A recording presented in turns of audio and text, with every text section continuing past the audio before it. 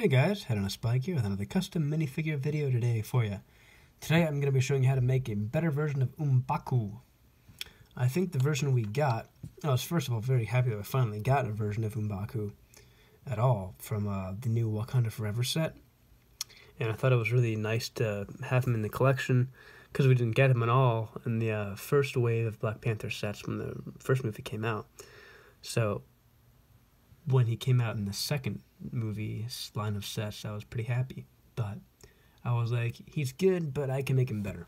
So here's what I did to make him better, to improve the design that we got.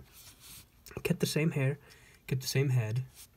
What I did add is uh, I kind of added like a 3D effect for the, the fuzzy thing around his neck by giving him the Kraven's fuzzy thing, fuzzy, fuzzy collar guess that's what you can call it. You can see like printed there on the back, but I was like, I want it to be more full, so that's why I'm getting the actual piece. You can also get this same piece from um, one of the versions of Snape when he is uh, in the the grandmother outfit from the the Boggart version of Snape, and the uh, the arms here from Knightmare Batman. Has really nice designs uh, the nice straps, which I think add well to the um, like the look of what M'Baku has.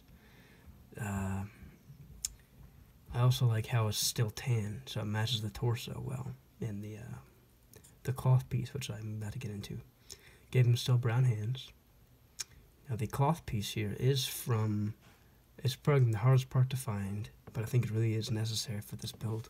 It's from um, Princess Leia from the Endor version of Princess Leia when she has the long brown hair. Uh, it looks really good because he has like this battle skirt on, and uh, it like really mimics that well. I think the legs are dual molded, dark tan and brown legs. I got these from like the Lego store, from like the uh, the build your own figure stations. They're really nice, and I think they really make the figure like look complete because it matches the same colors. He has like those brown sandals or brown boots on, so I think it looks really good with the uh, dark tan there for the legs. Yeah, so that's basically gonna do it for this video. And then I just give him an old staff. it's like Gandalf's staff. You can give him any staff you want. So that is the custom. Please like and subscribe to my channel if you dig this. And alrighty then, head on a spike out.